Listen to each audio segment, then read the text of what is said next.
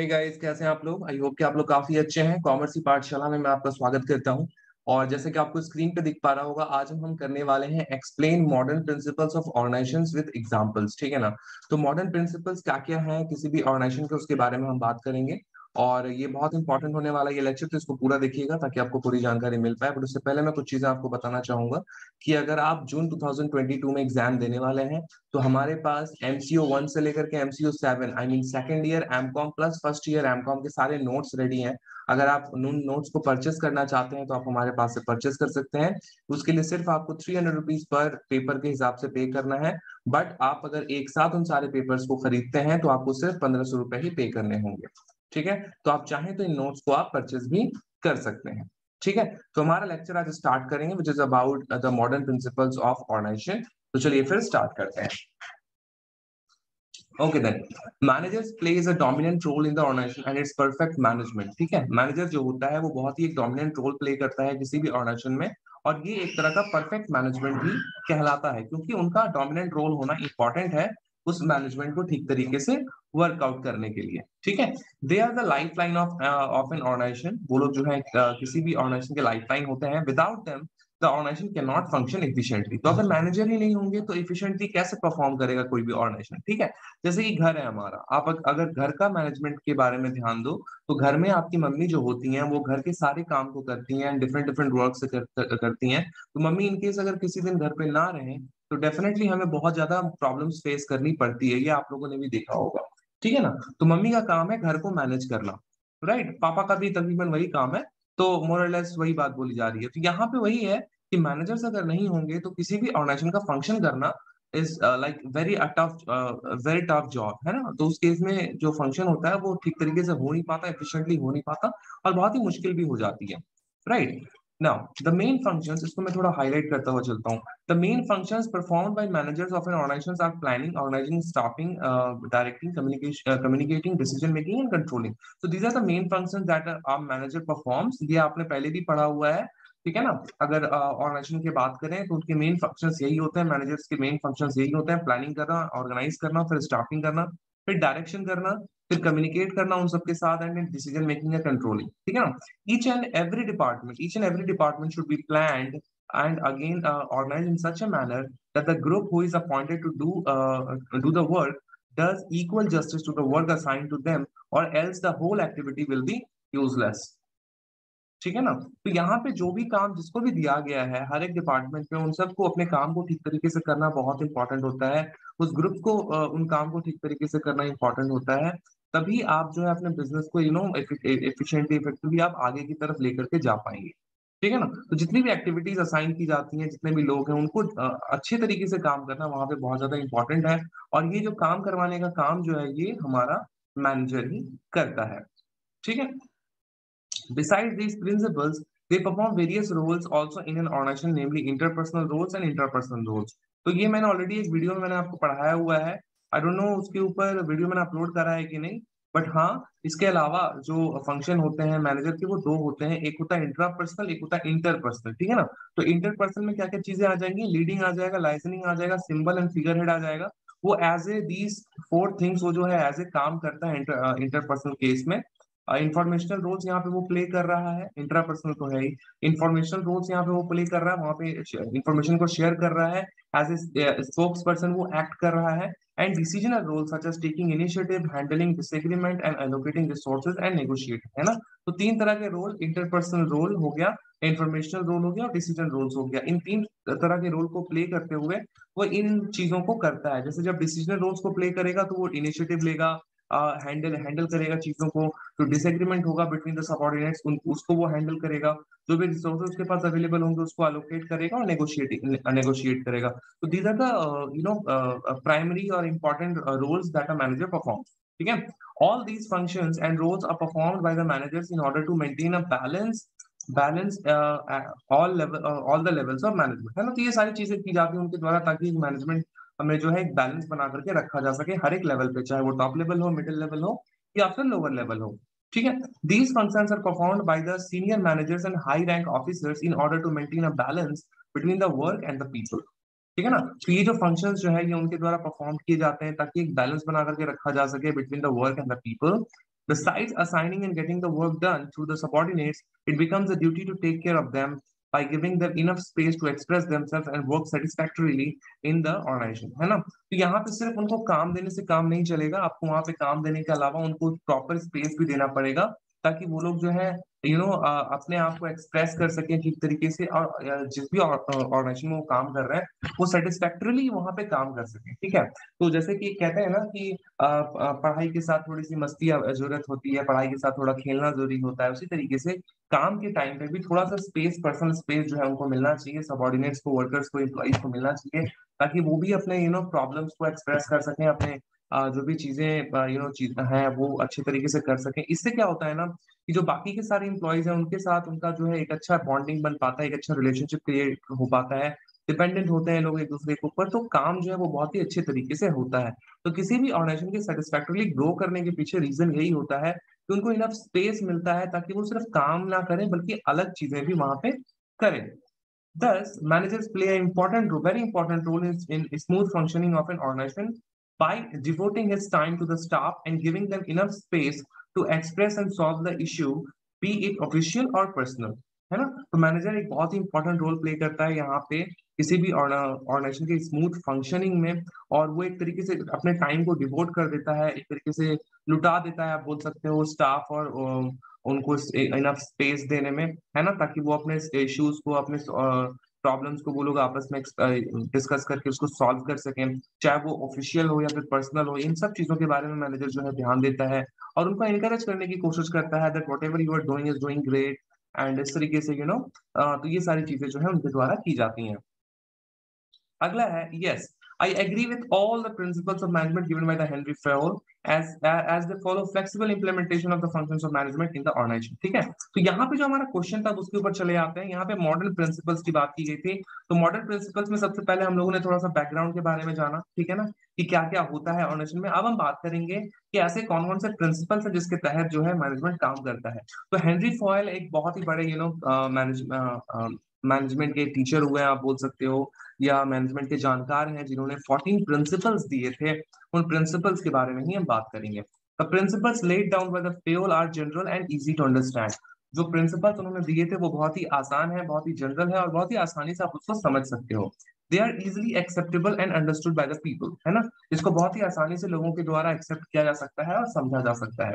The most salient and useful feature which given encouraging results at uh, all times is union is strength. है ना? तो जो most salient feature या फिर जो मोस्ट इंपॉर्टेंट बात उन्होंने कही थी कि यूनियन इज़ स्ट्रेंथ अगर आप मिल करके रहोगे तो उसमें ताकत रहेगी, अगर आप अलग अलग काम करोगे अलग अलग हो जाओगे तो आपकी ताकत जो है घट जाएगी। तो यहाँ पे यूनियन की बात की जा रही है, साथ में मिल करके काम करने की बात यहाँ पे की जा रही है। तो मेन फीचर्स की अगर बात करें, उनके प्रिंसिपल जो भी उन्होंने बताए थे तो उनका क्या क्या हो जाएगा? Main features of modern organization क्या क्या हो जाएगा? It has become smaller in size due to less manpower है ना? अभी के टाइम पे जो मैन पावर है, उसकी साइज़ जो है बहुत ही ज़्यादा घट गई है, जिसके कारण से यू नो जो ऑर्गेनाइजेशन है, वो एक तरीके से छोटा होता जा रहा है, आप बोल सकते हो। Organization culture has become crucial due to the deduction in the layers of the management अभी के टाइम पे, और, जो ऑर्गेनाइजेशन स्ट्रक्चर होता है, वो बहुत ही क्रूशियल हो गया है बहुत ही सर्कुलर हो गया है यू नो क्योंकि जो लेयर्स है मैनेजमेंट के उसको घटा दिए गए हैं उसको कम कर दिए गए हैं जिसके कारण से अभी के टाइम पे जो ओएस है ऑर्गेनाइजेशन स्ट्रक्चर है वो बहुत ही सर्कुलर हो गया है बहुत ही सिंपल सा हो गया है आप बोल सकते हो। Third number point it is more important of technical based workers are uh, also technically qualified than before है ना? तो अभी के टाइम पे चीज़ें जो है बहुत ज़्यादा टेक्निकल हो गई हैं तो इसीलिए अभी के टाइम पे जो भी वर्कर्स होते हैं जो वर्कर्स काम करते हैं ऑर्गेनाइजेशन में वो भी टेक्निकली बहुत ही ज़्यादा क्वालिफाइड होते हैं। और वो अपने काम को बहुत ही अच्छे तरीके से कर पाते हैं। मोर emphasis is given to the customer satisfaction and to the shareholders of the organization, है ना? तो अभी के टाइम पे ऑर्गेनाइजेशन के जो शेयर होल्डर्स होते हैं, जो कस्टमर्स होते हैं, उनको ज़्यादा इंफेसिस दिया जा रहा है, उनको ज़्यादा वैल्यू दिया जा रहा है ताकि उसको किसी तरीके से सेटिस्फाई करके रखा जा सके। बिकॉज़ शेयर होल्डर्स अगर इंटरेस्टेड होंगे तो वो डेफिनेटली आपकी कंपनी में इन्वेस्ट करेंगे, पैसे लगाएँगे। Plus customer satisfaction is also very important topic क्योंकि अगर कस्टमर सेटिस्फाई नहीं होगा तो आपका प्रोडक्ट नहीं बिकेगा और प्रोडक्ट नहीं बिकेगा तो आपकी कंपनी ग्रो नहीं करेगी। तो अभी के टाइम पे इन दोनों चीज़ों के ऊपर बहुत ज़्यादा ध्यान दिया जाता है बाय द ऑर्गेनाइजेशन ठीक है? Time and place of working had became flexible अभी के टाइम पे तो टाइम और काम करने का जो जगह है, वो बहुत ही फ्लेक्सिबल हो गया। आपने सुना होगा कोविड के टाइम पे वर्क फ्रॉम होम चल रहा था। लोग घर पे बैठ के काम कर रहे थे राइट तो अभी के टाइम पे चूँकि चीज़ें बहुत ही टेक्निकल हो गई हैं ऑनलाइन लोग काम कर रहे हैं तो अभी जो टाइमिंग पीरियड है या फिर जो प्लेस ऑफ़ वर्किंग है, उसमें भी बहुत ज़्यादा फ्लेक्सिबिलिटी आई है। तो ये भी एक बहुत ही इंपॉर्टेंट फीचर है मॉडर्न ऑर्गेनाइजेशन का। ठीक है ना?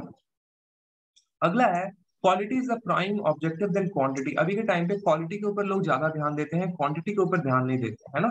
अभी के टाइम पे आप कितना टास्क कितना ज़्यादा मात्रा में कर पा रहे हो, उस बात के ऊपर ध्यान नहीं है। अभी के टाइम पे ध्यान इस बात पे है कि आप अपने टास्क को कितने अच्छे तरीके से कर पा रहे हो कितनी क्वालिटी उसमें आप अपनी डाल पा रहे हो कितना उसको बेहतर आप बना पा रहे हो उस चीज़ के ऊपर अभी ध्यान ज़्यादा दिया जाता है। Due to increase in the service organization, communication has become informal and lateral, है ना? तो जो जो इंक्रीज है सर्विस ऑर्गेनाइजेशन में उसके कारण से जो कम्युनिकेशन है वो बहुत ही ज़्यादा बढ़ा है यू नो तो उसके कारण से जो इनफॉर्मल और लेटरल जो चीज़ें होती है वो बहुत ही सिंपल हो गई है मतलब इनफॉर्मल हो गया है। ऐसा नहीं कि आपको हमेशा एकदम बन ठन के ही बात करना है अच्छी तरीके से। यहाँ पे आप थोड़ा सा कैजुअल होकर के अपने काम को कर सकते हो। काम कैजुअल होकर नहीं करना है, थोड़ा सा एटीट्यूड अपना कैजुअल करके काम को करना है सिंसियरली तो ये चीज़ें जो है, अभी के टाइम पे मॉडर्न ऑर्गेनाइजेशन के लोग जो है अडॉप्ट कर रहे हैं मॉडर्न ऑर्गेनाइजेशन जो है, वो उसको अडॉप्ट कर रही है। ठीक है? आठवां नंबर पॉइंट है participation of middle and junior management is is there in decision making as compare to the top level management है ना? तो टॉप लेवल मैनेजमेंट की अगर हम बात करें तो वहाँ पे बहुत ज़्यादा पार्टिसिपेशन बहुत ज़्यादा यू नो नहीं दिखता है बट मिडिल और जूनियर लेवल मैनेजमेंट में जो पार्टिसिपेशन है लोगों का एक दूसरे के साथ, वो बहुत ही अच्छा है। As middle and junior management is more technically qualified then what it used to be ऐसा क्यों है? ऐसा इसलिए है क्योंकि अभी के टाइम पे जो मिडिल और जूनियर मैनेजमेंट है, वो बहुत ज़्यादा क्वालिफाइड है with comparison to the previous previous जो एम्प्लॉयज़ काम करते थे, उनके कंपैरिजन में, अभी के टाइम पे ये लोग बहुत ही ज़्यादा टेक्निकली क्वालिफाइड होते हैं, ठीक है ना? Uh, all these features all these features are easily absorbed and flexible enough for implementing the principles of management है ना? तो ये सारे फीचर्स होने के कारण से जो मैनेजमेंट है जो उसका प्रिंसिपल्स है उसको इम्प्लीमेंट करने में बहुत ज़्यादा आसानी होती है। The changes are easily taken up by the these principles in the most convenient and conventional way in order to suit the features of the modern organization ठीक है ना? तो ये जो चेंजेस आते हैं जो चेंजेस हो रहे हैं इसको लाइक एक तरीके से टेकअप करना किसी भी प्रिंसिपल के लिए बहुत ज़्यादा कन्वीनियंट हो जाता है। इन सारे प्रिंसिपल जो मैं अभी आपको लिख करके बताने वाला हूँ, उसके लिए बहुत ज़्यादा कन्वीनियंट है, बहुत ही कन्वेंशनल वे ऑफ़ वर्क है, जो चीज़ें जो है किसी भी मॉडर्न ऑर्गेनाइजेशन में की जा रही है। ठीक है ना? तो ये प्रिंसिपल्स कौन कौन से हो गए? सबसे पहला हो गया डिवीज़न ऑफ़ वर्क अपने काम को इस तरीके से बांटो ताकि जो जिस काम में बेहतर है, आप उसको वही काम दो। तो division of work is very important authority and responsibility जिसके पास अथॉरिटी होगी, वो उसी काम के लिए रिस्पॉन्सिबल भी होगा। डिसिप्लिन होना बहुत इंपॉर्टेंट है किसी भी ऑर्गेनाइजेशन में। Unity of command is a very important topic unity of direction होना चाहिए। Subordination of individual interest to general interest है ना? तो जो आपका इंडिविजुअल इंटरेस्ट है, उसको एक साथ मतलब लगाते हुए आप जो जनरल इंटरेस्ट है, किसी भी ऑर्गेनाइजेशन का, उसके लिए आप किस तरीके से साथ में मिलकर के काम करते हो, ये बहुत इंपॉर्टेंट है। रेमुनरेशन सैलरी टाइम पे मिलना इंपॉर्टेंट है। सेंट्रलाइजेशन काम का जो डायरेक्शन है, वो टॉप लेवल से नीचे के लेवल पे आएगा तो सेंट्रलाइजेशन होना बहुत इंपॉर्टेंट है। Scalar chain order equity stability of staff initiative esprit de corps ये फोर्टीन प्रिंसिपल्स है जो कि फायोल भाई साहब ने बताए थे और ये बहुत इंपॉर्टेंट है किसी भी मॉडर्न ऑर्गेनाइजेशन के फंक्शनिंग के लिए उसको ठीक तरीके से काम करने के लिए। Beside these 14 principles of management, Fayol, uh, uh, by, uh, by Fayol, there are other principles of management, है ना? इसके अलावा भी बहुत सारे principles हैं इसके बारे में करके बात करेंगे। सबसे पहला है हार्मोनी ऑफ़ ऑब्जेक्टिव्स ठीक है ये नाम आपको याद रखने हैं। यूनिवर्सलिटी ऑफ़ मैनेजमेंट, जो मैनेजमेंट है उसकी यूनिवर्सिटी हर जगह पे सेम होती है। हार्मोनी ऑफ़ ऑब्जेक्टिव्स का मतलब यह कि जो भी आपके ऑब्जेक्टिव है, उसको आप हार्मोनी में एक साथ मिलकर के अचीव करने की कोशिश करोगे। ठीक है? तीसरा पॉइंट है primacy of objective and planning है ना? जो आपके ऑब्जेक्टिव है, उसकी प्राइमेसी ज़्यादा होगी प्लानिंग आप अच्छे तरीके से करोगे, ये भी एक इंपॉर्टेंट पॉइंट है। चौथा है कंट्रोल बाई एक्सेप्शन है ना? यहाँ पे आप कंट्रोल करने की कोशिश करते हो एक्सेप्शन करके डिसीज़न करने की कोशिश करते हो एक्सेप्शन करके equality of authority power responsibility and accountability important point important principle आप बोल सकते हो। कोऑर्डिनेशन होना बहुत इंपॉर्टेंट है। This principle act as a guide for the management to enable an organization to run effectively and efficiently अब ये जो प्रिंसिपल्स हैं, ये एक तरीके से गाइड के रूप में काम करते हैं गाइडलाइन के रूप में काम करते हैं किसी भी मैनेजमेंट के लिए उसको ठीक तरीके से इफेक्टिवली या फिर एफिशिएंटली काम करने के लिए। है ना? It helps in creating healthy and flexible flow of activities within an organization है ना? तो ये हेल्प करता है मैनेजमेंट आपको हेल्प करता है आ, कि आप जो है अपने एक्टिविटीज़ को जो भी ऑर्गेनाइजेशन के अंदर हुई है वो ठीक तरीके से हो सके। इस चीज़ में मैनेजमेंट आपका काफ़ी ज़्यादा हेल्प करता है। ये प्रिंसिपल जो होते हैं ये काफ़ी ज़्यादा हेल्प करते हैं। In olden days these principles were not given any practical and encouraging results due to lack of technical know-how and unity of command. तो ये प्रिंसिपल पहले भी एग्जिस्ट करते थे लेकिन उस टाइम पे इसका जो प्रैक्टिकल इस्तेमाल है वो बहुत ज़्यादा नहीं होता था तो अभी के टाइम पे इसका इस्तेमाल होता है क्योंकि पहले के टाइम पे कैसे करना है टेक्निकल नो हाउ लोगों को पता नहीं था यूनिटी ऑफ़ कमांड में बहुत ज़्यादा इंटरेस्ट लोगों को नहीं था तो उसके कारण से चीज़ें जो है डिफरेंट थी उस टाइम पे बट अभी के टाइम पे बहुत ही ज़्यादा आसान हो गई है how? Uh, uh, sorry. But now, as there is a tremendous change in the organization uh, or, organization structure of the management, lot and have given rise to the quality and innovative products. है ना? तो समय के साथ साथ eventually जैसा कि मैंने आपको बताया कि जो ऑर्गेनाइजेशनल स्ट्रक्चर है वो बहुत ज़्यादा मज़बूत हो, हो, गया है ड्यू टू टेक्निकल एडवांसमेंट और टेक्निकल एडवांसमेंट के कारण ही जो प्रोडक्ट्स हैं जो चीज़ें आप बनाते हो उसकी क्वालिटी भी बहुत अच्छी हो गई है और इनोवेटिव चीज़ें आप कर पा रहे हो ठीक है two main characteristic of principles of management are there which enable the modern organization to work effectively and efficiently. तो जो मेन इंपॉर्टेंट कैरेक्टरिस्टिक है, दो बताए गए हैं यहाँ पे यूनिवर्स प्रिंसिपल्स ऑफ़ मैनेजमेंट के। तो यहाँ पे इंपॉर्टेंट कैरेक्टरिस्टिक बताए गए हैं जिसके बेसिस पे जिसके इस्तेमाल से, जिसके होने से एक्चुअली ऑर्गेनाइजेशन जो है वो ठीक तरीके से ग्रो कर पा रही है। तो सबसे पहला है फ्लेक्सिबिलिटी अपने काम में फ्लेक्सिबिलिटी होना बहुत इंपॉर्टेंट है। रिजिड होकर के रिजिडिटी होकर के आप काम को ठीक तरीके से नहीं कर सकते। तो ये सबसे बड़ा एक फीचर है। As the principles of management are flexible enough to expand or contract the rules of functions as possible as possible according to the needs and wants of the uh, organization. ठीक है ना? तो अभी के time पे like in सब चीज़ों का फ्लेक्सिबल होना बहुत इंपॉर्टेंट है। जो भी रूल्स एंड रेगुलेशन होते हैं जो भी फ़ंक्शंस होते हैं उसको अपने नीड एंड वांट्स के हिसाब से आपको यू नो थोड़ा सा फ्लेक्सिबल बनाना पड़ता है। चीज़ों को जो है थोड़ा बहुत आपको ऊपर नीचे करना होता है। You should be modified and applied according to specific situation faced by the manager तो ये जो चीज़ें हैं जो प्रिंसिपल्स है वगैरह है इन सारी चीज़ों को आप अप्लाई या फिर मॉडिफाई कर सकते हो जब कोई स्पेसिफिक सिचुएशन आपके द्वारा फेस किया जा रहा है। आप कोई ऐसा स्पेसिफिक सिचुएशन फेस कर रहे हो जिसमें ये प्रिंसिपल सपोज़ काम में नहीं आ रहा है या आप इम्प्लीमेंट नहीं कर सकते तो आ, आपके वहाँ पे चांसेस रहेगा कि आप थोड़ा सा फ्लेक्सिबल होकर के उसको थोड़ा अवॉइड करो है ना? या उसमें किसी तरह का मॉडिफिकेशन आपको करने की ज़रूरत है तो आप मॉडिफाई कर सकते हो right These principles need to be handled and applied carefully and not blindly and according to the organizational structure, है ना? तो ये जो प्रिंसिपल्स अभी बताए गए हैं, इसको ऐसा नहीं है कि आप अंधे होकर के इसको कम्प्लीटली आप अप्लाई कर दो। ऐसा भी होना इंपॉर्टेंट नहीं है। बहुत ही केयरफुली अप्लाई करने की ज़रूरत होती है, क्योंकि जो, जिसका स्ट्रक्चर जैसा होता है, जिस भी ऑर्गेनाइजेशन का स्ट्रक्चर जैसा होता है, जैसी उसकी नीड होगी, जैसा उसका यू नो अप्रोच होगा परसेप्शन होगा, उसके अकॉर्डिंग आप अपने प्रिंसिपल्स को वहाँ पे अप्लाई करोगे। ठीक है ना? तो ये बात यहाँ पे बोली गई है। तो फ्लेक्सिबिलिटी यहाँ पे बहुत ज़्यादा है। ठीक है ना?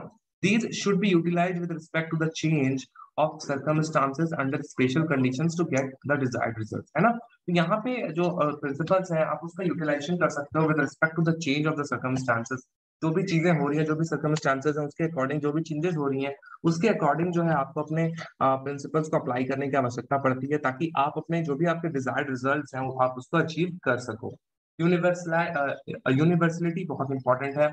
जो मैनेजमेंट होता है, उसकी यूनिवर्सिटी होती है, हर एक जगह पे उसका जो है एप्लीकेशन होता है है ना? So principles of management are applicable in all types of organization at all level है ना? तो ये जो प्रिंसिपल्स हैं, ये तकरीबन हर एक लेवल पे इसका यू नो इस्तेमाल होता है। ऐसा नहीं कि एक जगह पे हुआ, दूसरी जगह पे नहीं हुआ। इसकी यूनिवर्सलिटी होती है, ये हर जगह पे इसका इस्तेमाल होता है। They are universal in nature है ना? यही बात मैं बोलना चाह रहा हूँ। They may be use with equal utility of managers of different organization and at different levels of authority है ना? तो इसका इस्तेमाल हो सकता है different you know levels of authority में डिफरेंट uh, मैनेजर्स के लिए ताकि उनकी एबिलिटी बढ़ाई जा सके and all managers are able to predict the results of their actions easily अब इसके बेसिस पे जो मैनेजर्स होते हैं ना वो अपने एक्शंस का जो रिज़ल्ट होगा वो बहुत ही आसानी से प्रिडिक्ट कर सकते हैं। ठीक है? तो this is the topic that we had to discuss और हम लोगों ने डिस्कस किया। बहुत इंपॉर्टेंट टॉपिक था एग्जामिनेशन के पॉइंट ऑफ़ व्यू से। मॉडर्न प्रिंसिपल्स हम लोगों को बताने थे और आंसर के विद एग्जांपल्स आई होप कि आपको ये वीडियो काफ़ी पसंद आया होगा, पसंद आया तो प्लीज़ लाइक कमेंट और शेयर करें। और हाँ अगर आप नोट्स खरीदना चाहते हैं तो जल्दी से मुझे कॉन्टैक्ट करें। हमारे नंबर पे eight one zero one zero six five three double zero जो कि आपको स्क्रीन पर दिख रहा होगा। इस पर आप कॉन्टैक्ट करके आप हमसे नोट्स के बारे में बात कर सकते हैं। If you need notes we can provide you at a very nominal cost हम बात करेंगे इस बारे में। व्हाट्सएप पे अगर आपको चाहिए होगा, मिलते हैं अगले वीडियो में। अपना ख्याल रखिए। Bye bye thank you